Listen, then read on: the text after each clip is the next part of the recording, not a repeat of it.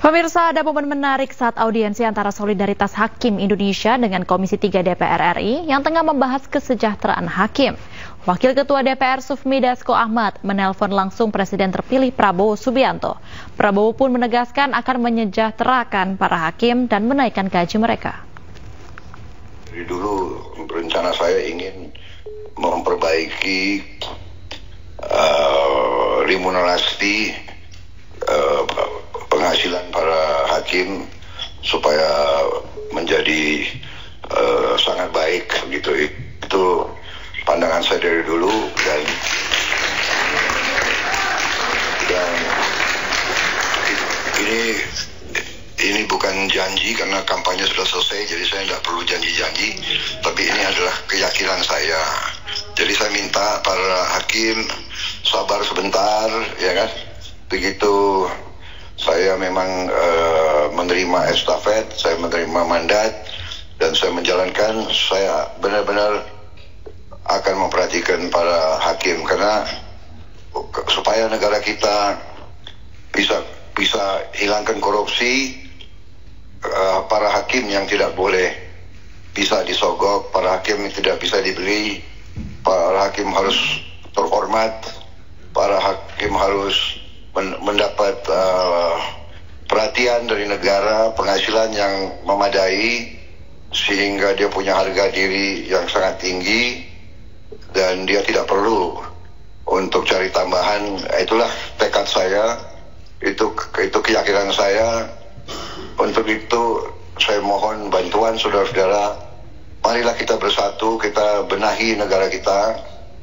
Kita yakinkan semua uh, semua orang, semua pihak, apalagi mereka yang menerima fasilitas dari negara, para pengusaha-pengusaha besar itu bisa bayar pajak pada kewajiban mereka dengan sebaik-baiknya. Kita semua harus bahu membahu. Yang kuat bantu yang lemah, yang lemah kita harus bersatu. Jadi negara kita sama-sama akan bangkit, sama-sama akan makmur. Izin Pak. Mimpin Pak. Maju.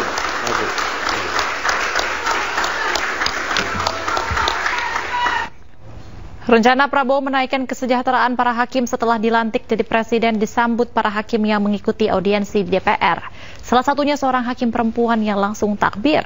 Selain itu juga ada hakim yang menangis saat mendengarkan pernyataan Prabowo tersebut.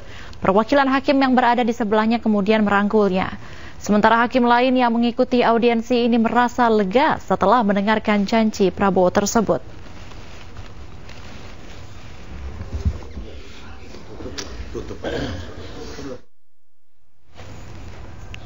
Pemirsa, selama 12 tahun, gaji dan tunjangan hakim di Indonesia tidak mengalami kenaikan. Hal ini menjadi pemicu aksi cuti massal sejak tanggal 7 sampai 11 Oktober oleh Solidaritas Hakim di Indonesia yang mayoritas hakim golongan 3B dengan gaji minimal 2 juta rupiah. Berikut rincian gaji dan tunjangan hakim golongan 3 dan kisarannya jika dinaikkan 142 persen berdasarkan tuntutan yang disuarakan.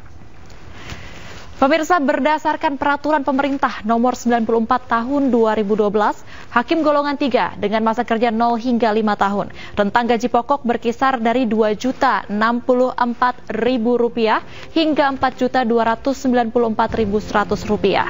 Lalu tunjangan hakim pratama untuk pengadilan kelas 2 di angka kurang lebih 8,5 juta rupiah. Dengan demikian gaji yang diterima berkisar 10 juta hingga 15 juta rupiah. Dan selanjutnya pemirsa dalam tuntutannya, Solidaritas Hakim Indonesia juga menyampaikan dengan rata-rata inflasi 4,1 persen setiap tahun, gaji dan tunjangan hakim yang layak untuk tahun 2024 adalah naik 142 persen dari yang berlaku saat ini.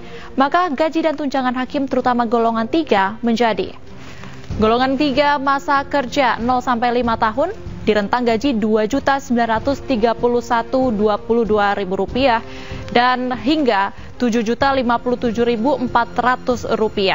Lalu untuk tunjangan hakim pratama pengadilan kelas 2 di angka 20 juta rupiah. Lalu untuk take home pay atau gaji diterima yaitu berkisar 17,5 juta rupiah hingga 35 juta rupiah.